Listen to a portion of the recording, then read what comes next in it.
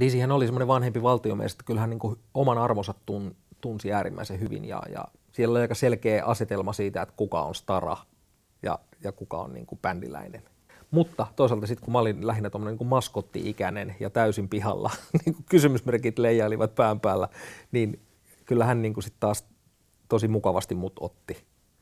Sitten hän neuvoi mm, todella makeen keinon, millä niin kuin nopeita tempoja voi soittaa ilman, että ajatus lähtee juoksemaan niin kuin liian nopeasti. Jos biisin tempo on y, k, y, k, k, n, k, k, k, n, y, k, k, n, niin tota, ei pitäisi lähteä niin kuin ajattelemaan niitä jokaista iskua erikseen niin kuin, tavallaan juoksemaan sitä tempoa y, k, k, n, y, k, k, n, y, k, näin, vaan että miettii vaan tahdin ykkösiä ja kävelee sitä tempoa. Y, k, k, n, k, k, k, n, y, k, k, n, k, k, k, n. Ei mitään hätää. YKK, YKK, voi olla vaikka nopeampikin vielä, niin silti voidaan kävellä. Ja sormet soittaa nopeasti, viisin tempo menee, mutta ajatus kävelee. Niin silloin ollaan koko ajan sen tilanteen yläpuolella. Tällä ei tämä kannattaa. Te pysyy ihan rauhallisena.